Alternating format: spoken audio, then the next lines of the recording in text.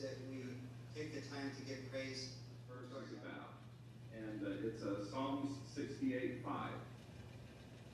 If we probably uh, try to